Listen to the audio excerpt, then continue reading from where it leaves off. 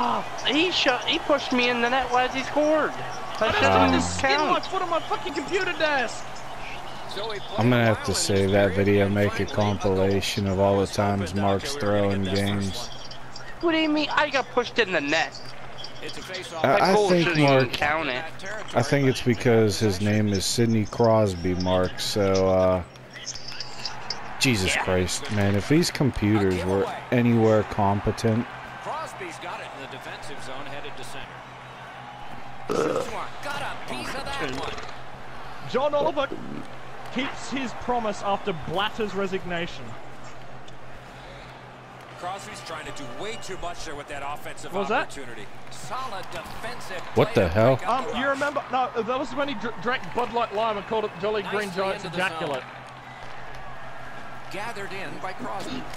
He's oh, Ma- Mark, Fuck's sakes. Mark,